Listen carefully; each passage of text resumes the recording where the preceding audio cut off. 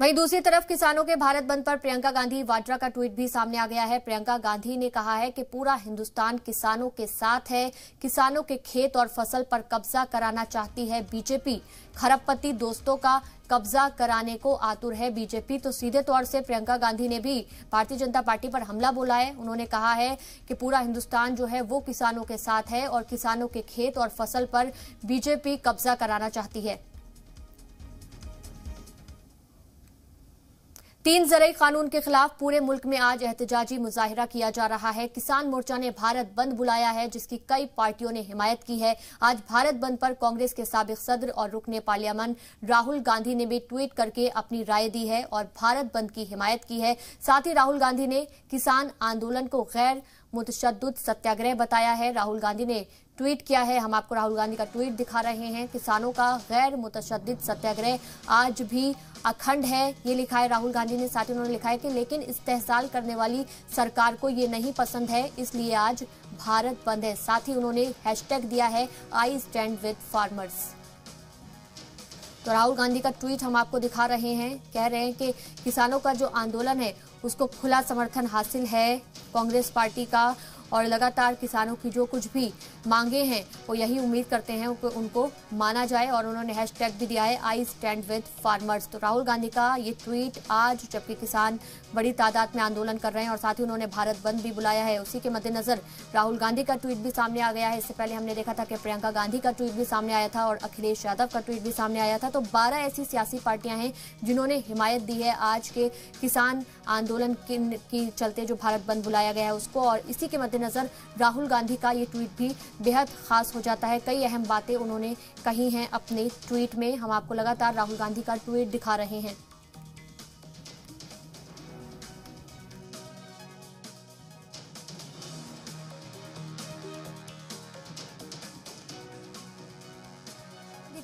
Tweet आ रहे और किसानों का भारत बंद जो है, तीन कृषि कानूनों के खिलाफ बुलाया गया है।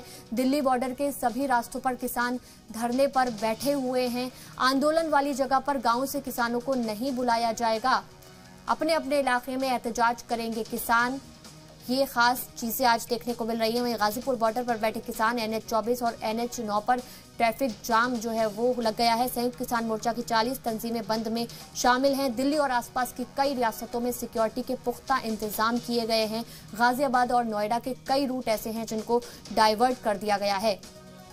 तो अहम खबर आपको बता रहे हैं, किसानों का जो आज भारत बंद है, उसी के मद्देनजर कई ऐसे जो रास्ते हैं, उनको बंद भी किया गया है और कई ऐसे रास्ते हैं जिनको डाइवर्ट भी किया गया है ताकि आम जनता को किसी भी तरह से परेशानी ना हो, क्योंकि हम देख रहे हैं कि जिस तरीके से किसान जो हैं, वो प्रदर्शन करते हैं तो बड़ी तादाद में लोगों की भीड़ लग जाती है। इसके अलावा जो किसान होते हैं, वो भी बेहद बड़ी तादाद में मौजूद होते हैं, जिसके चलते जो आम जनता है, वो कहीं ना कहीं परेशान होती है। अब आपको बताते हैं कि संयुक्त किसान मोर्चा ने भारत बंद के दौरान क्या क्या बंद रखने का ऐलान किया है। सरकारी और प्राइवेट दफ्तर बंद रहेंगे। तालीमी इदारे भी बंद रहेंगे। वहीं दुकानें जो हैं, उनको भी बंद रखने का हुक्म जारी किया गया है किसानों की ओर से और इंडस्ट्रीज़ जो हैं, वो भी आज बंद रहेंगी। तिजारती इदारे जो हैं, वो भी आज बंद रहेंगे। तो क्या कुछ बंद रखने की जो हिदायत है, वो जारी की गई है? किसानों के संगठन की ओर से ये हम आपको बता रहे हैं, जिसमें तालीमी इदारे शामिल हैं, दुकानें शामिल हैं, इंडस्ट्रीज़ शामिल हैं, इसके अलावा सरकारी और प्राइवेट दफ्तर शामिल हैं और तिजारती इदारे जो हैं वो भी इसमें शामिल हैं। तो चाहे तिजारती इदारे हो या तालीमी इदारे हो या दुकानें, इंडस्ट्रीज़, सभी को बंद रखने का जो हुक्म है वो जारी किया गया है किसान संगठन की ओर से। अब आपको बताते हैं कि संयुक्त किसान मोर्चा ने भारत बंद के दौरान किन किन चीज़ों को बंद नहीं रखने का ऐलान किया है, ये भी आपको जान लेना चाहिए कि क्या क्या खुला रहेगा, अस्पताल खुले रहेंगे आज। इसके अलावा जो मेडिकल हैं, वो खुले रहेंगे। एंबुलेंस खिदमात भी आज खुली रहेंगी, ये बंद नहीं की जाएँगी। इसके अलावा राहत और बचाव का काम जो है, वो भी जारी रहेगा। इमरजेंसी खिदमात देने वाले इदारे भी खुले रहेंगे, इनको बंद नहीं रखा जाएगा।